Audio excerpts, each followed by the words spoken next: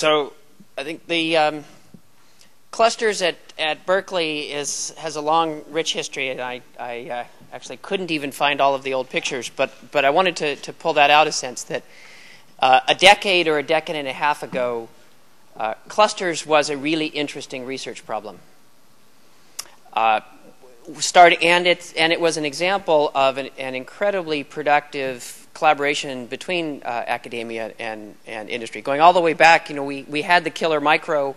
Uh, the killer switch had emerged in these funny little MPP companies like Thinking Machines. The first high performance clusters were actually built out of some of those parts. We tried to rip apart IBM machines at the time, but they couldn't quite do that on SUR grant.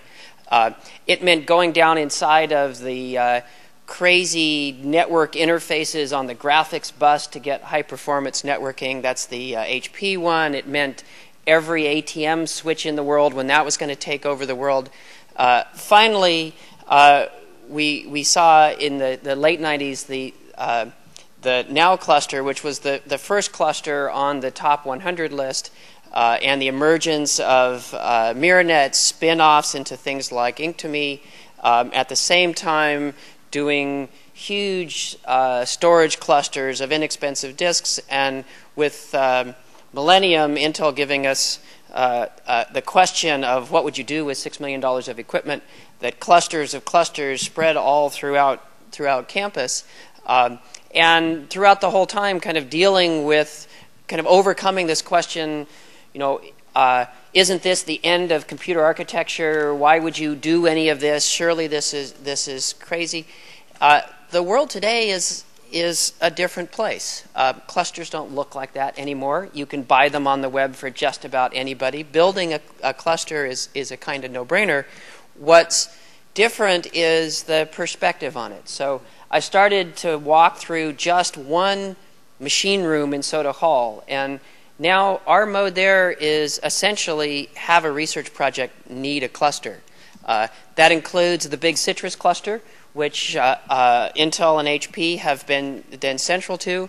That's some serious computing, but you know, it doesn't cost that much anymore. Um, the previous uh, Millennium clusters, which most of the, that used to be in eight departments, most of the other departments have kind of disappeared over time and, and consolidated, or they've grown up on their own. Uh, clusters now are taking on all kinds of different forms. So, uh, in this case with IBM, uh, lots of high performance storage, another cluster of computing and storage put together, another one of very large amounts of low performance storage. Oh, here's a cluster. This is interesting. It's 500 machines spread across 40 countries in 270 sites, but running largely and initially exactly the same uh, Millennium Cluster distribution software. And, and now we're looking at, we, we saw everybody emulating the internet in a box for a while, and now they're emulating all of the nasties in their net in the box, so we can go study that.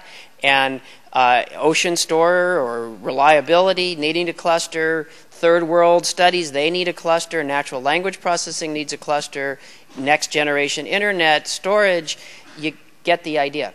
So uh, and this is just looking at one room. There's also all those clusters in computational biology, the nanophysics folks, in chemistry and civil engineering.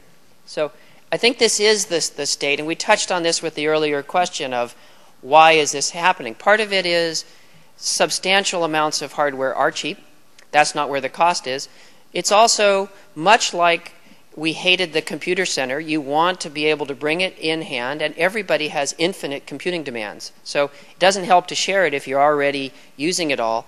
And now the question is really how do these different, different applications stress these? What's the mix of storage, processing, speed of interconnect, uh, amount of disk storage? And really, it's all about software now. So just to be quick, uh, I think as a community, certainly as a campus, uh, as a uh, as a meta project, if I look at, at CITRIS, it seems like the most important thing we could do in this whole area is begin to bring ourselves together. We've got to recognize that this is what has emerged for a good reason. Um, it's not that they're totally different, but they're influenced in different ways. And it's not about buying cycles from the computer center and centralizing all of that control. On the other hand, as much as there are differences, partly differences because these show up in different amounts of time, there's a tremendous amount of commonality, most of which in all of that stuff that we wish didn't exist but is actually what takes the time and, and, and energy. I think, especially at Berkeley, we have some of the world's best cluster engineering expertise. And we will either use that and harness it and make it grow, or we'll lose that and we'll uh, buy that one way or another or try. Uh,